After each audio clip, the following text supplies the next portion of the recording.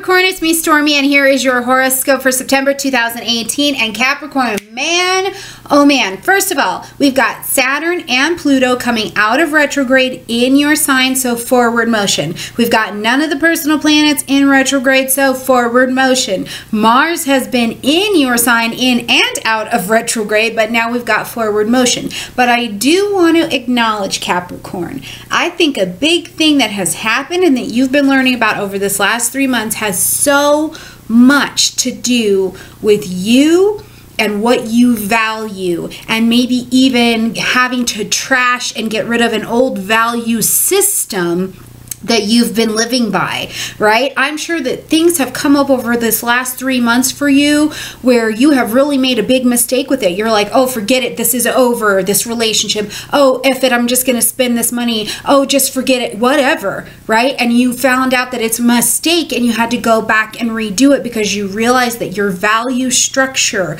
around that particular something was inaccurate. But the great part about the retrograde is it helped you get in alignment with what is right for you you. And now that we're in September, this forward moving motion, you've got the energy to move forward on the value system and set of beliefs that are actually in alignment with you. So, now, like I said, those could have been anything from financial mistakes that you made, relationship mistakes that you made, um, even business mistakes that you made because you weren't actually putting your full talent to the test out there. So, really interesting. Keep me posted. Let me know what it, what was your blip over this last three months, okay? But no worries because because this month, like I said, we've got energy to move forward. So let's get into this right here at the beginning of the month, Mercury is going to be joining the Sun in Virgo, a fellow Earth energy. So, kind of nice. We like to rock that. But more so than anything, because Mercury is of the mind and the Sun is light, heat, life, vitality. Where the Sun goes, you want to show up, you want to shine, you want to really come through. So, in the ninth house, the first thing I think of with you, Capricorn, is that you could be traveling, right?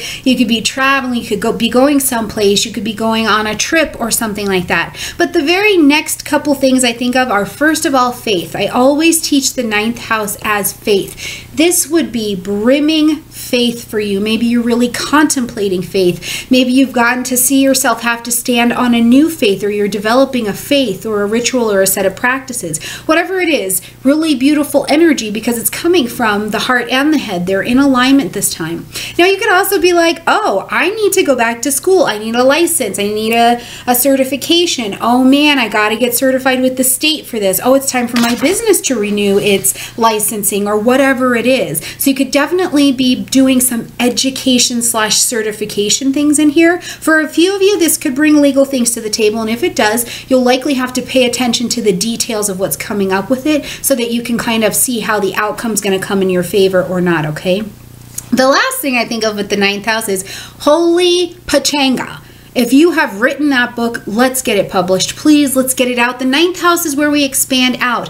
Writing, publishing, broadcasting that podcast. Yes, please create a YouTube channel. I would love that. The other last thing I think of is marketing. So, Capricorn, if you have somehow had a hold back um, and you haven't been really marketing, really getting yourself out there, this may be a great time to be able to do that for you. Not to mention, on the 9th, we've got a new moon happening in Virgo. So, again, fresh beginning, light possibilities are endless, right? Because at a new moon, the sun and the moon are hanging out together. So possibilities are endless here. Plant those seeds of intention for your ninth house world so that they can start to be worked on and coming up, uh, coming to fruition in the next four weeks, okay?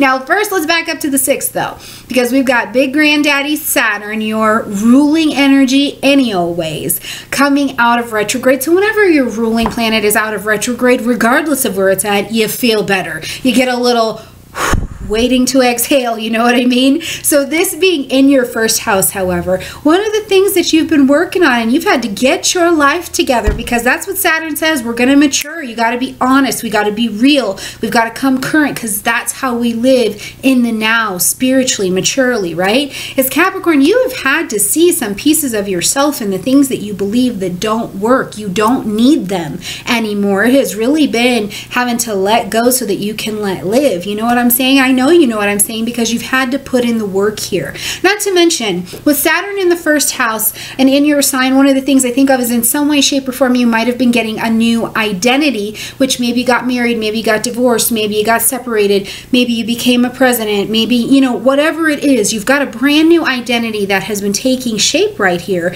And here's the thing it's coming retro it's coming out of retrograde in a trine energy which is so helpful for you so that whatever maybe even is still challenging for you um, with some work and some push through this is still in your favor okay? So forward motion here as well now, again, on the 9th, we've got that new moon happening in Virgo, but we've also got Venus moving into Scorpio with Jupiter. Now, Venus is the little benefic planet, Jupiter is the big benefic planet, okay? So they like to be together. They're not exact or anything like that, but they do like hanging around each other. So this is a lot of good energy running through your 11th house. You could be getting social, you could be updating your profile in the social zones, whether that be, excuse me, Facebook, um, Reddit, YouTube, any of these things. I would definitely tell you too, along with the marketing energy that you're rocking at the beginning of the month, if people can't find your business, your product, who you are, whatever, or it is not current, this is the energy to bring it forward. The other thing I think of Capricorn, we've got Venus and Jupiter here in the 11th house, and Jupiter could not give two dirty tacos about some romance. He just, it's not his priority, but Venus, that is her priority. So you could definitely be finding yourself in a more solid romance romance or knowing that you're in a solid romance or relationship with someone who was once a friend. So whether it's a new romance coming in or something where you're kind of, you know, again, waiting to exhale and you see that you can relax into what's going on, this is a gorgeous energy. Gorgeous, gorgeous, gorgeous. You don't have to possess, you don't have to manipulate, just be. Be social, be friends, and invite those new people into your life, okay?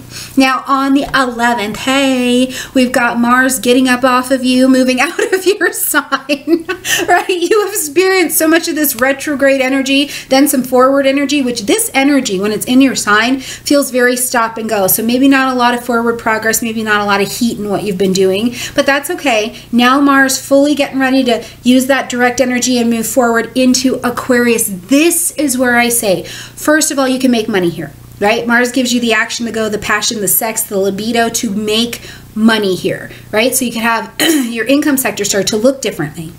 The other thing that I think is huge for you is your value system. You're living with different esteem, a different value system. You know yourself. You know some circumstances a little bit different. You know some talents that you have. You're bringing them to the table. And this Mars energy is saying, yes, honey, let's push forward. Let's go, right? Maybe even very assertively is how you're moving. But it's definitely opportunity to um, bring some of the sexy back to your financial life and to your value life. Now, on the 17th and 18th, these are two days I just want you to keep in mind. Really, the energy will last till the 28th, but I think this is the pinnacle of it, okay? Mars and Uranus are going to square, and when they square, this is a warring energy. This is disruption, it is chaos, it is rebellion, okay? This is happening for you between your second house and your fifth house. So I'm telling you, somewhere in here, what comes up for me with you is that something with your children could be going on. Maybe one of your children is taking on your value system or they are costing you a lot of money or something like that. Or and when I say children, I can also mean your brand new idea, your brand new business, your brand new romance, that investment. Whatever it is, it could just be clanging together. Now, a square puts us in a box and it puts us under a lot of pressure. It's doing this to us so that we will take an action to spring from the box. So you will take an action at this time under this energy, but you want it to be an action that is not one where you're losing your tacos and you're freaking out, compromising your value system and your um, reputation. Don't do that. This is Uranian territory. Respond innovatively, creatively, um, get inventive about what the new answer is. And whatever you do, respond differently than you normally would. And that is the most sexy use of this rebellious energy. But please don't write any checks that your butt can't cash. I'm telling you, it is not worth it going forward. It's just not. You'll compromise your reputation in a way that you cannot see coming right now. So be inventive, be creative, handle it a little bit different. On the 22nd, we switch seasons.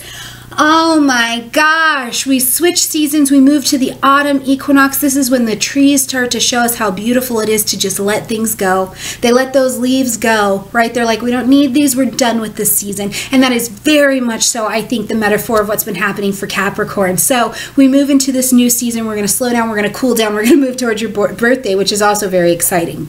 Now, on the 24th, we've got a full moon happening in Aries, and this is going to light up your fourth house home, family, real estate, property property, foundational level beliefs that you have that you've been building a life on.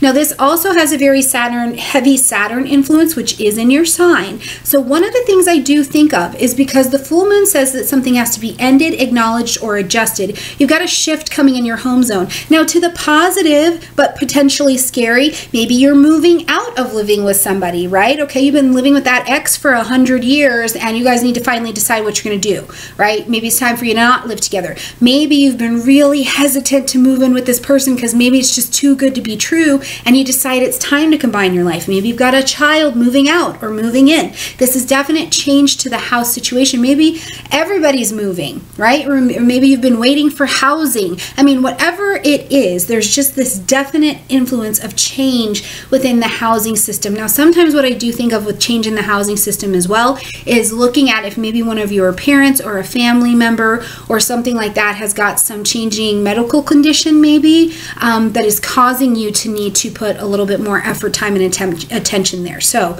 if that's a case in your life, then I'm sending you a lot of love, okay?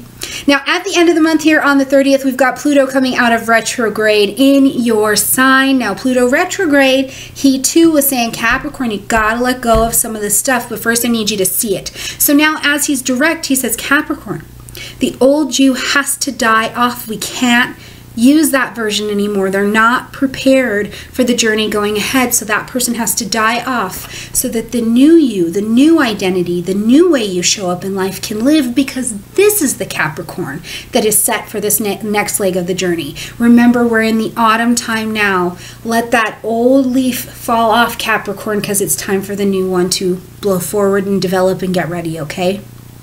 All right, guys, I think it's going to be a great month. Like this video, comment, share, subscribe. Please keep me posted down below with what's happening for you, how this translates into the magic, into your own world, okay? If you need a reading, come find me at stormiegrace.com. And if you don't need anything on this planet, let me just thank you for spending some time with me. I really appreciate it, okay? I love you guys very much, and I will see you next month. Bye.